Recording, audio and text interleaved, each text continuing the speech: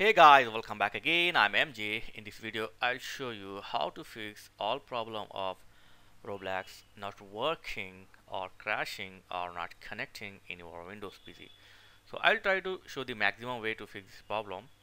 So watch this video very carefully.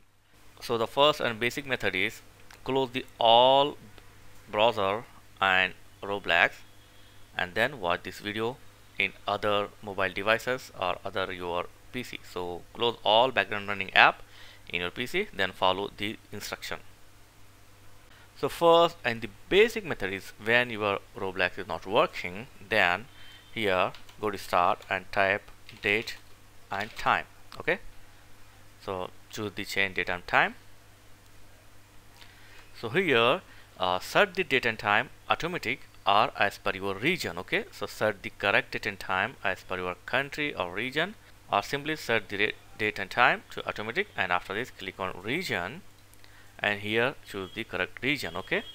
And after this try to use the uh, Roblox. This is the first method okay? If it's not work again go to start. The second option is here type internet options okay?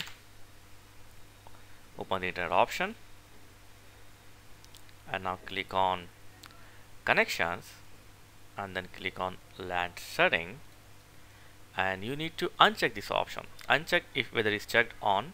So uncheck this option use a proxy server for LAN so uncheck this option. After this simply click OK and apply. So the second method. If it's not work then the third step is uh, just open the run command by uh, using Windows R.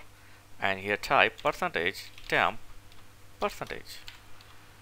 Okay and click OK and after this uh, simply select all and delete whatever will be going to delete. So select all and delete. Some file will not delete. So just select the do this for all and escape it. Okay? And after this reboot your PC and try to uh, use the Roblox. If it's not work then the next option is right click on your network then go to properties.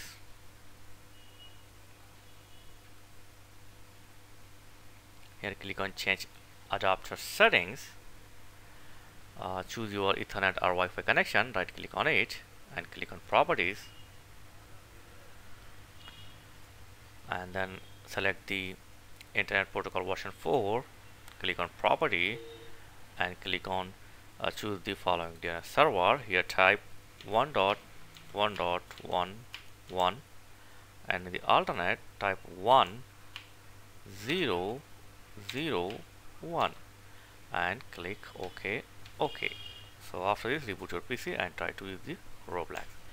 If it's not work then you need to open the command prompt. So go to start and here type command prompt or you can simply type cmd so open the command prompt as an administrator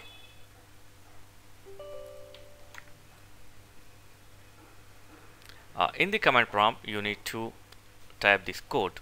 ipconfig space forward slash flush DNS server and hit enter okay? This is the first code. After this code complete you need to type one more code. Type net sh space winsock space space reset. So type it both uh, code one by one. And after complete you must reboot your PC and hopefully this will, this will fix the problem. So first type the ipconfig and hit enter and after this type the net sh okay? So this is the fifth step. So hopefully this will fix the problem. If it's not work then the next option is uh, go to start then go to setting. Here go to apps. In the app list just set the Roblox okay? Click on it then click on another option so here you will get some option. Uh, simply reset it. So he here it's clearly mentioned if this app is not working right reset it. The apps data will be deleted. So some app data will be deleted. You need to sign in once again. So simply click on reset and reset it. And after this once again you need to launch and uh, restart your Roblox. Okay this is the sixth method.